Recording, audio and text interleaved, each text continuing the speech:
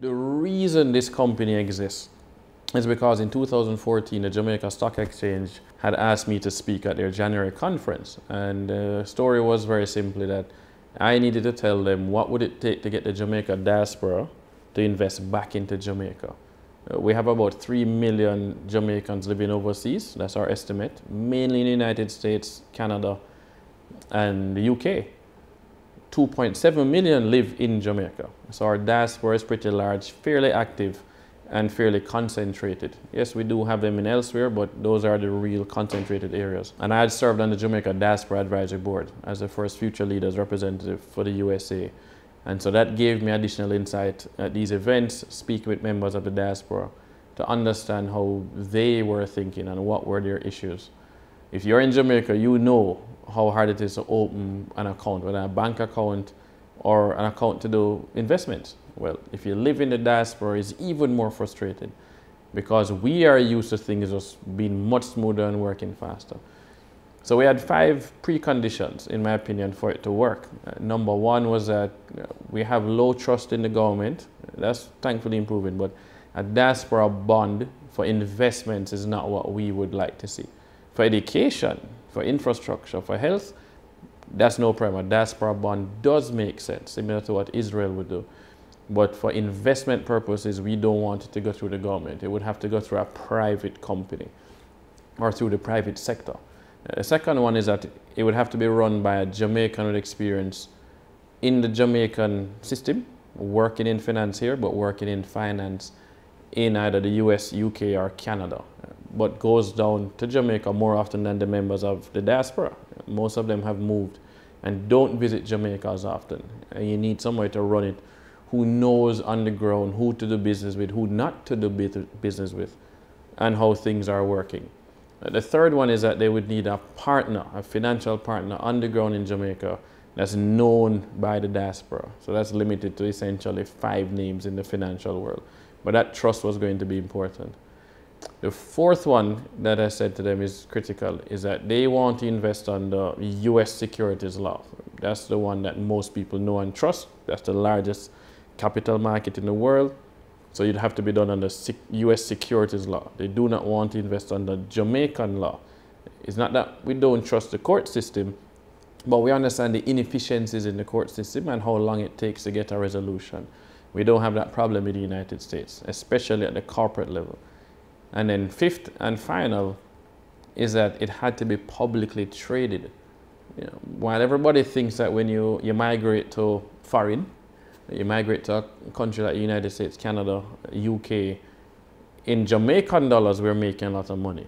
But in, in our home currency, we aren't. Most, most of us in the diaspora are just barely middle class and doing the same thing everybody else is doing, running on that hamster wheel, trying to make ends meet, while also sending money back to home here in Jamaica. This is over 2.2 billion US dollars sent per year uh, majority, about 67% or so from the United States alone. It's important to understand that we're not usually accredited investors. We're not usually high net worth individuals. So we can't participate in a hedge fund, in a private equity fund, in a venture capital fund. A public vehicle is what would make sense. And so that's what I said to them. Uh, not necessarily intending for me to launch that, it was always for them to launch it. Uh, since then, nobody has launched that kind of a company. And so I decided that I should make a move after getting a few phone calls from some investment banks here in Jamaica who you know, decided that's what they wanted to do. You know, a few of these investment companies called and said, why didn't I launch that kind of a company? And I told them it wasn't for me to launch. I was telling them what they were supposed to do. I had preferred to look at getting capital in the Caribbean to invest into US opportunities that they would not normally see, right? Giving them access to opportunities that I would see through our family office groups and some of the, the wealthy individuals we got to spend time with and, and build relationships with. That's why we've now launched this company. That is what our framework looks like because we think wealth creation does follow very simple rules and we need to be careful, as Warren Buffett would say, you know, he doesn't look for seven foot bars to jump over we look for one foot bars to step over. We're doing the same thing. So we're not looking for turnarounds. We're not looking to take a company out of bankruptcy. Uh, we're not looking to do the hard things. For now, we're looking for very simple things. So uh, it's not that complicated to find those. You, you just need to stay disciplined and work with the framework and not, not get away from your framework. I've seen successful people have a framework and then go on to things outside of that and then that causes problems and it pulls down other things. So, so disciplined investing is critical. Holding for the long term is important.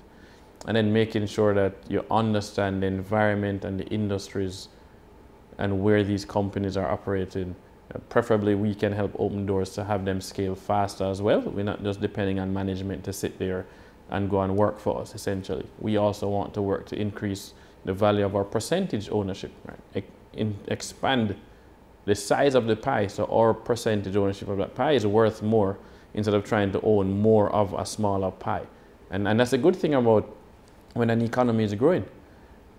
The way we look at Jamaica and why we're so bullish is, is not just because it had the best performing stock exchange last year or in the last five years. It's not just because no exchange traded fund in the United States has any Jamaican stocks in their portfolio, even though they have Vietnam, Kazakhstan, Sri Lanka, the most frontier of emerging markets in, and we think they would buy our stock. Those aren't actually the most important reasons. When we think about per capita income, Jamaica is somewhere in the 5,500 US a year for per capita income. We tend not to talk about that. The Latin American Caribbean region average is 12,500 or roughly in that region. The average. So Jamaica is below 50% of the average. So if we're seeing positive growth rates, we're seeing low inflation, actually below target inflation, fairly stable exchange rate within a band that the central bank is working on, capital friendly, so it's easier for us to move money in and out, to convert money as needed. Good governance in place in terms of the companies that we want to invest in, business friendly government, and that has been between transitions. This doesn't matter which party, it's been business friendly because of since the IMF deal that they signed. Well, that means that incomes are going to be growing as well. So if Jamaica's per capita income can go up by just a thousand US dollars, just a thousand dollars gets it to around 6,500, they're still roughly at 50% of Latin America and the Caribbean region. So we think a thousand dollar increase is reasonable within the next decade if all things continue to improve the way they have. But then that means that you know a thousand US, 2.7 million people, and it's a per capita income.